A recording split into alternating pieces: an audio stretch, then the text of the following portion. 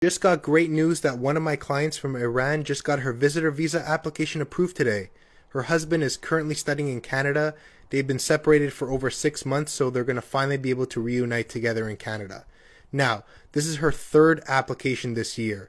She reached out to me after being refused twice, both an open work permit and a visitor visa.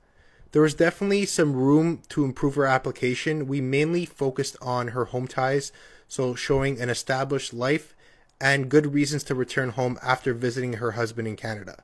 As you can see here, we submitted the application in August of this year, which means your application got approved in a little over two months, which is a great sign to see that processing times are starting to speed up and go back to normal.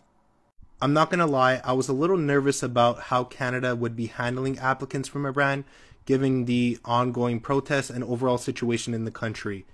I've heard other countries were starting to refuse Iranians for this reason alone. But it seems like Canada is still accepting applicants from Iran, which is a great sign to see.